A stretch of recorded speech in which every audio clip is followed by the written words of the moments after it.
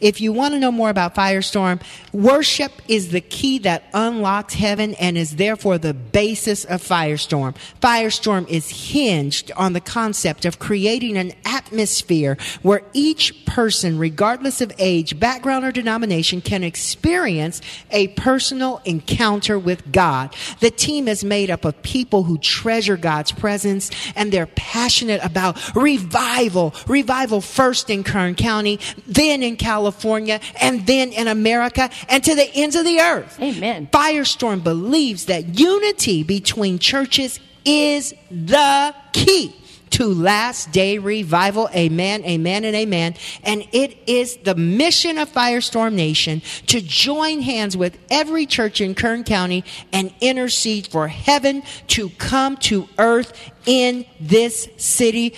Minister Cheryl Scrimshire, those are some big words, and I know that God is backing them all up. We are seeing it in this region. Firestorm is bursting and it is incredible. It is marvelous. If you haven't experienced uh, the firestorm, whoa is all I can say.